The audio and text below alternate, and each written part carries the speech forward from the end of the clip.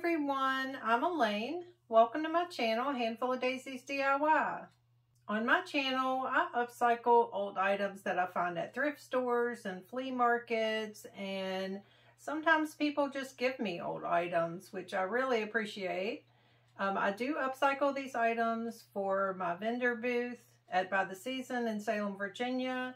And also my thrifted items are on my website at Handful of Daisies. So if that's something you're interested in, hit that subscribe button and join our DIY family. Don't forget to also hit that notification bell and select all so you'll be notified every time I upload a new video. If you're already subscribed, thank you so much for supporting my channel. I hope you're finding inspiration in the projects that we've done so far. And thank you so much for all the comments that you've given me. That helps me to know the things that you're interested in so I can make better content for you. So this week we have a furniture flip. So we're going to go down to the workshop and get that started. Here's a look at the table we're going to be working on. It is a high top table. Um, the top you can see is pretty messed up, so I'm going to use this board to replace that. And I only have one stool, um, but I'm going to use this stool and maybe look for um, another one like it and refinish it as well. So I'm going to start by taking the nuts off the top of these screws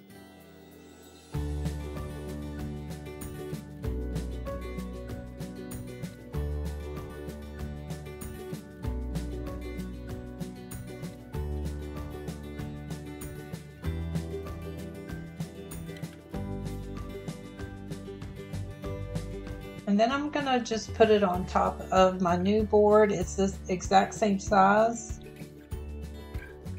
And I'm gonna trace it out um, so I know where to drill my holes.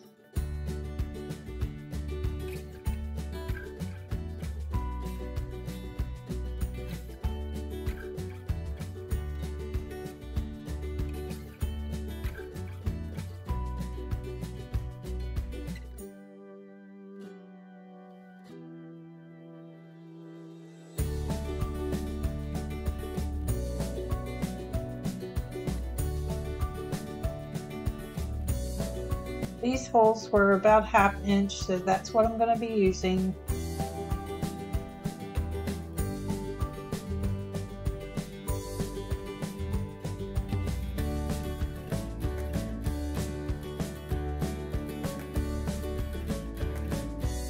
I'm just going to hang my board over the side of my table so I don't drill down into my table.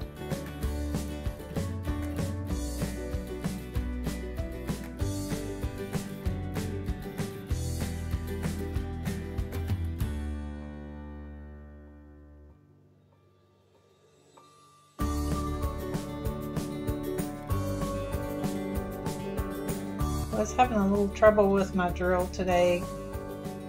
Couldn't get that to stay tight.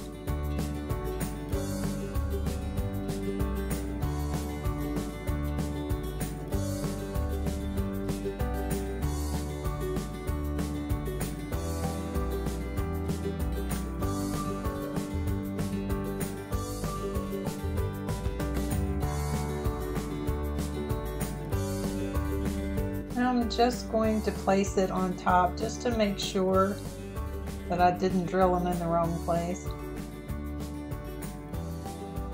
And it fit.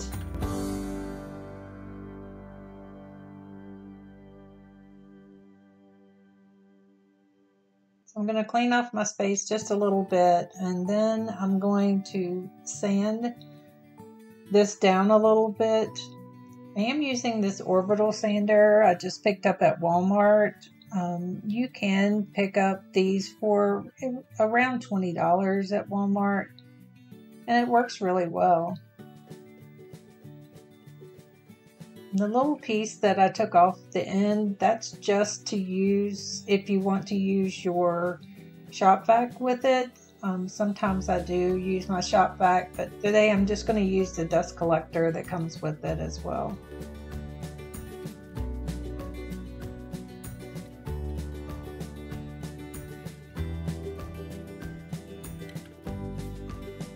When I drilled those holes, it did uh, on the back side um, splinter the wood a little bit, so I'm going to sand that down smooth.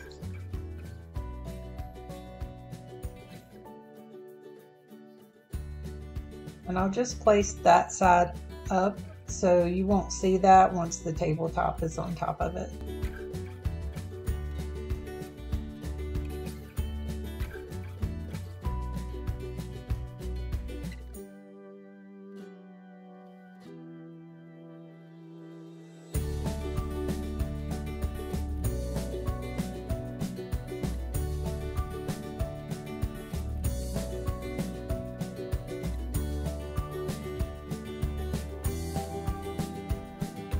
This is just a stabilizer board and I'm going to paint it the same color I paint the base.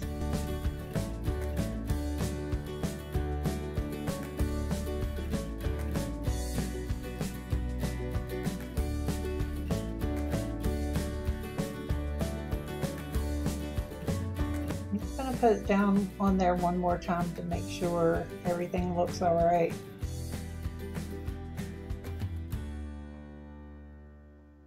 I'm going to scuff sand the base a little bit. It was a little shiny and it was in pretty good condition.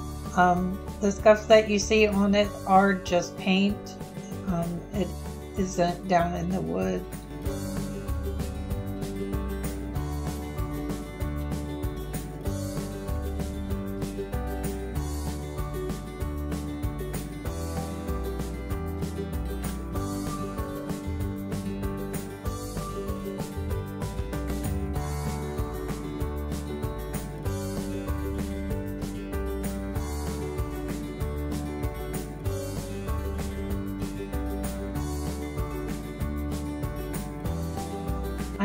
Using um, a light grit sandpaper to scuff this because I really don't want to go too far down into the paint. I'm not trying to get all the way back down to the wood.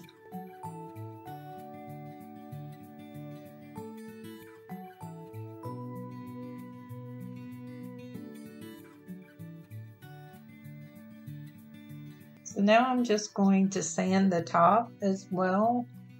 Um, there are a lot of scratches in the top, so I started out with the light grit sandpaper and then I ended up changing to a more coarse grit sandpaper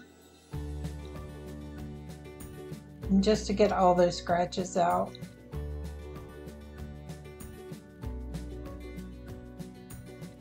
And you can see I had it setting on top of the stool and it was a little wobbly so I did end up changing that and putting it on my workbench.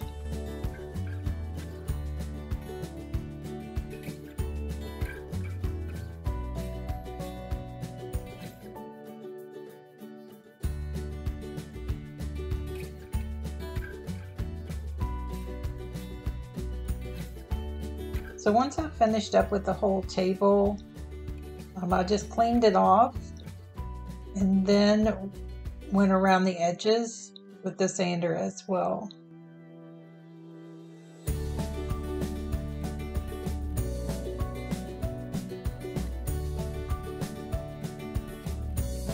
And you can see it still has some of the stain on it.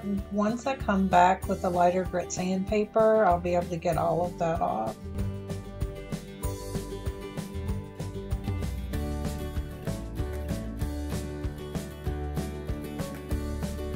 Now I'm going to change to that light grit sandpaper and smooth out the top really well.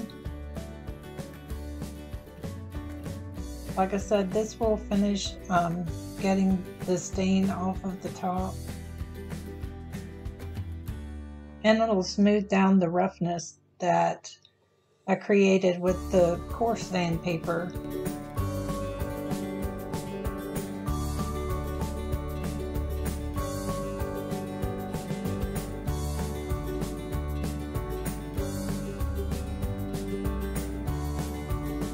You can see I have one bad spot. I'm not sure if that was a water spot that maybe I just didn't see before or it was due to sanding too much in that one spot.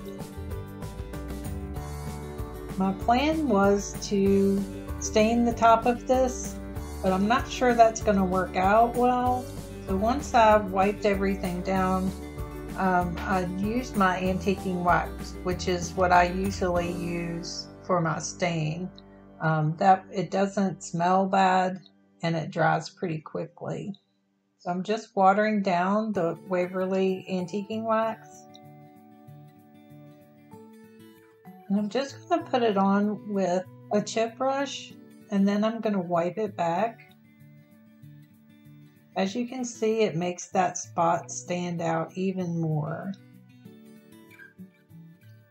Of course then I just went ahead and finished it up and then decided I'm just going to have to paint the top. So I put that to the side to let it dry. And then we're going to move on to the base.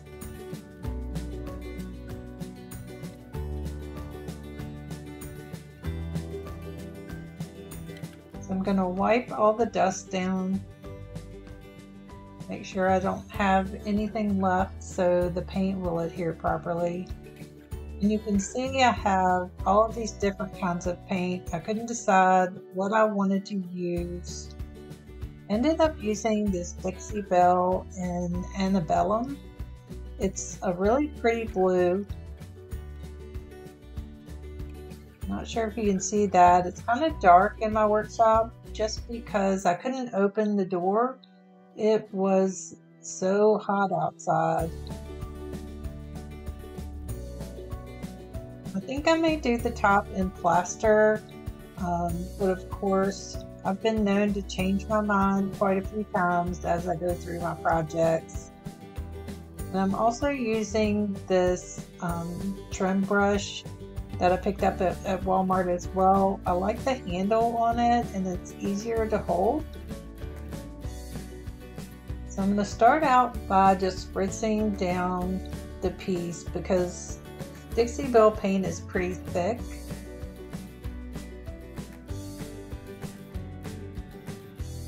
I'm just going to start at the top and work my way down.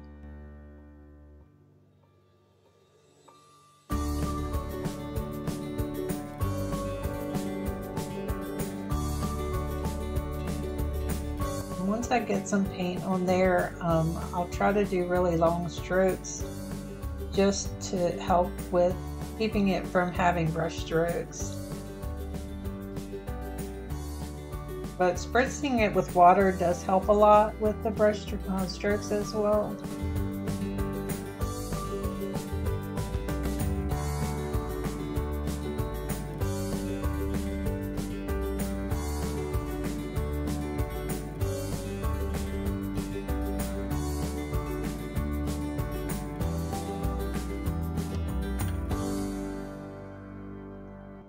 A lot of my projects in black and white, so I am trying to do a few more colors.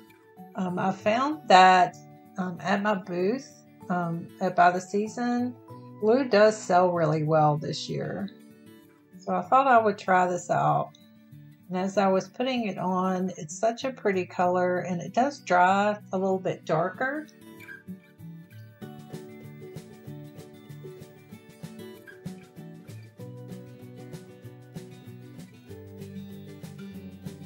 And I really wanted to spray these pieces, but um, my air compressor wasn't working properly, so I wasn't able to use my spray gun. So I'm going to go ahead and distress this piece. I know a lot of you don't like distressing, but it does sell really well um, at my booth when it's distressed. I'm just going to get the edges just where it would normally have worn.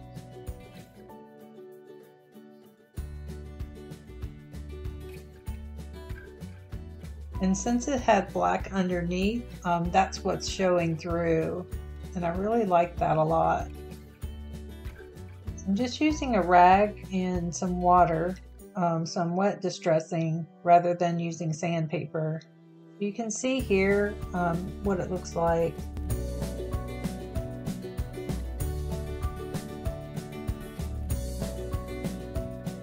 Now we're going to move on to the top again. It's dried completely. Um, I decided just to do it in um, black and I didn't have any Dixie Belle in black so I'm using the Waverly um, ink which is a really deep black and it's really pigmented so it normally only takes one coat and it's really thick as well so I am going to use uh, my spritz bottle and spray that down just to thin it out a little bit.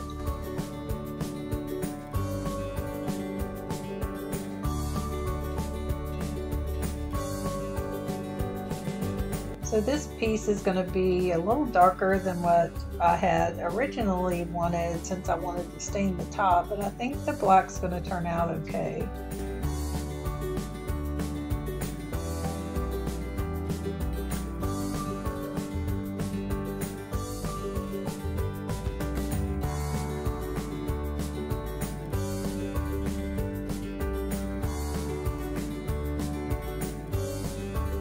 Me know in the comments below um, what color choices you would have made for this piece.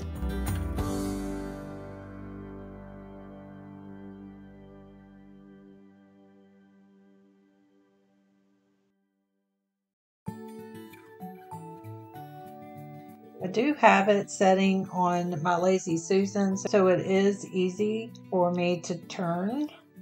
I don't have to move the whole tabletop to get all the way around.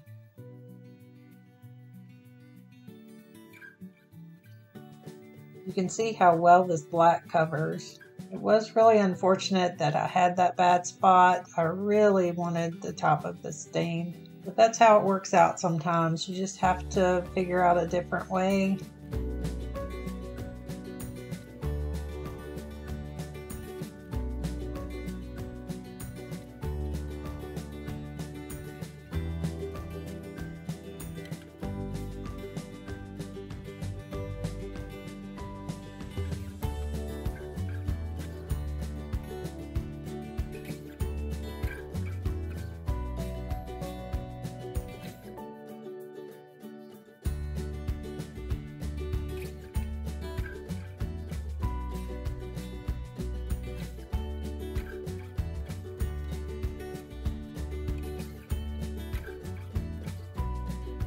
And I did paint around the bottom as well. I didn't um, video that part.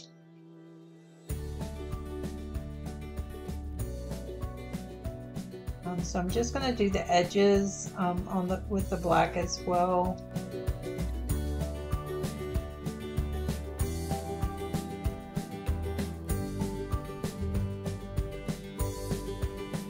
You can see here the contrast between the black and blue. What do you think about that? Do you think it's too much dark?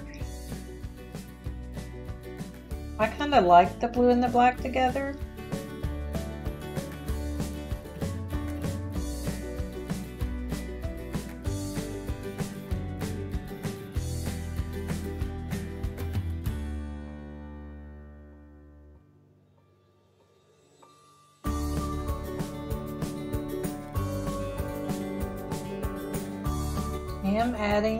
Um, a little water in with my paint again because it is really thick.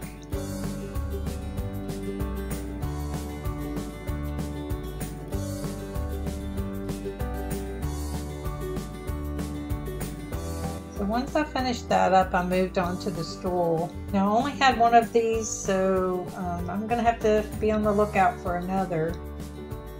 Um, I'm starting out with the black and I'm just going to randomly paint some black um, all along the edges.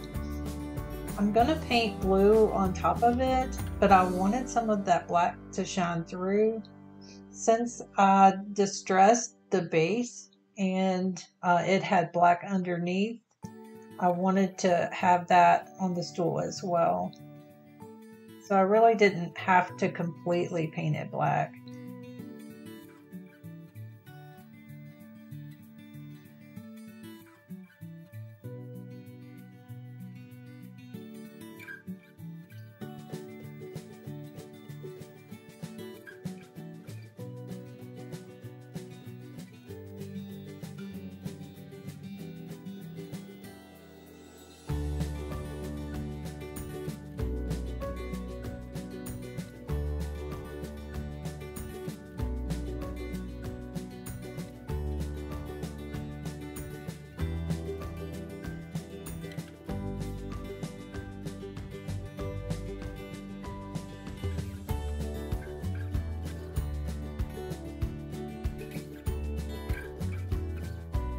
Once that all dried, I got out my blue. Now I didn't top coat that black. Um, I'm not really going to wet distress this one. I'm just going to let the black show through the blue paint a little bit.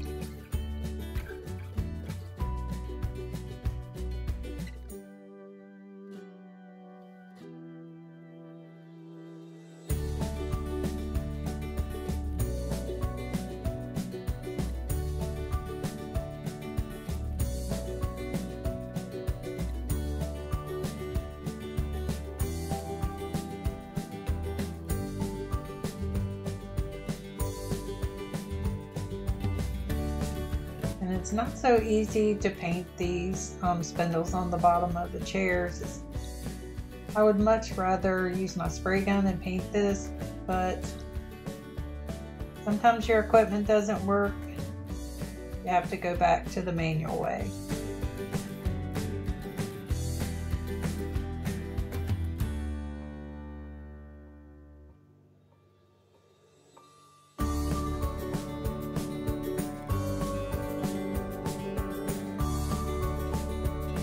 Once I finished all of the bottom, I turned it around just so I could get the top parts as well.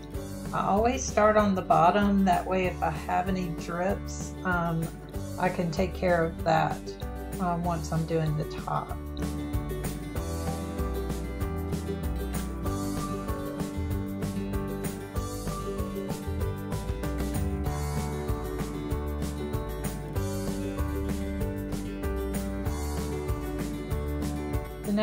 Move on to the top coat. Um, for the top of the table, I'm using um, this Waverly um, for top coat. I'm just going to pour it on and smooth it all out. I will list everything I used in my description below, so if you want to know any of the products that I've used, just check that out below.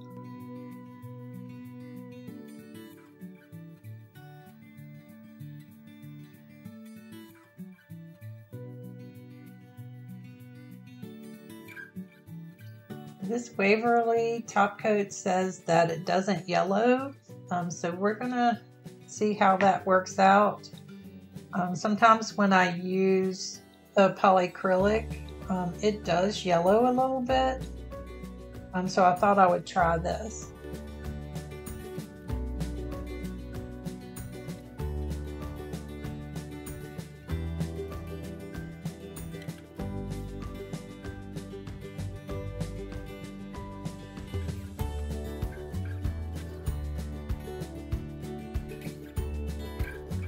Like to try different things just to see um, what works better.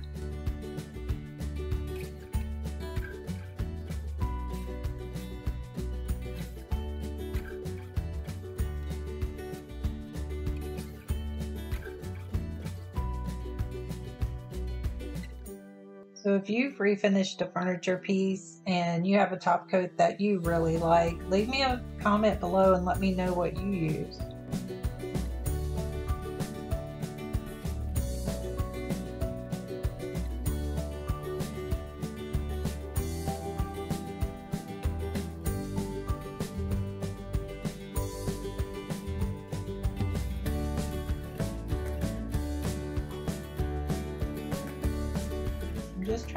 Really long strokes. Um, hopefully it won't leave brush marks. Now we're going to move on to the top of the stool. I'm just, I'm going to use this fabric I picked up at um, Goodwill. Um, yes, you can pick up fabric at Goodwill. Um, it was three dollars for this. I'm not sure exactly how much, how many yards is on this, but it was a lot for three dollars. So I'm just gonna roll it out, set my stool on top, and just kind of randomly measure what size I need, just to make sure I have enough to go all the way around and pull it up to staple it.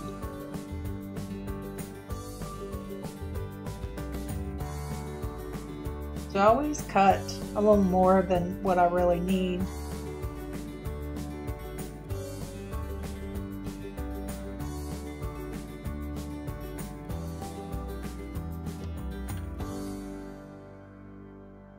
I'm also going to cut the corners off just so I don't have all that extra fabric on the edges. And for those of you who are good at upholstering things, um, please turn away because I am not very good at this and um, I have a lot to learn when it comes to upholstering. So I'm just going to do the best I can. I'm going to be using my electric staple gun um, just to staple this on. I'm just going to fold up um, each side and then I'll work my way around.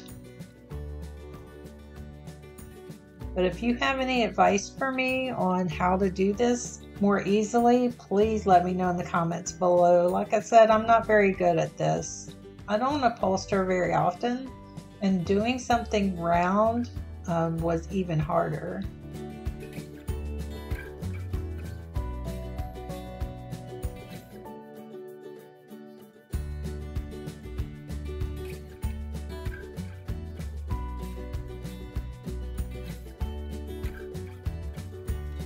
This was really nice thick fabric and it had some of that blue um, going through it. It was an off-white, but I picked this fabric when I thought I was going to be staining the top. So now I'm not sure with the black top how well, um, since this fabric is so light, it's going to match.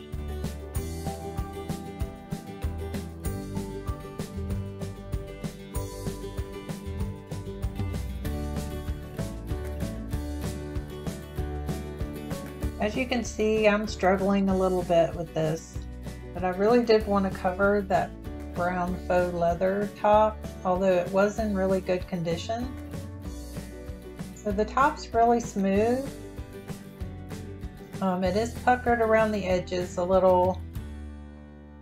So I'm just going to come in and cut off all the excess fabric around the bottom.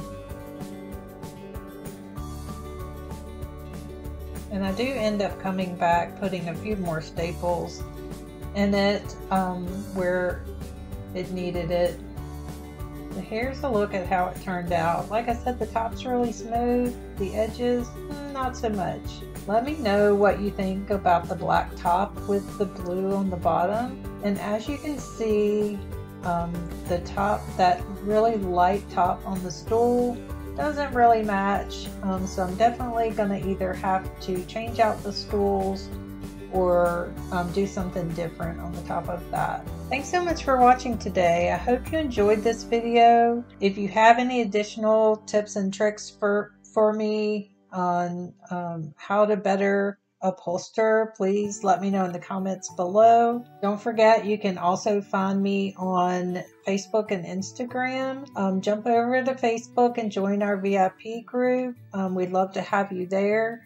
Again, thanks for watching, and I'll see you next week for another DIY.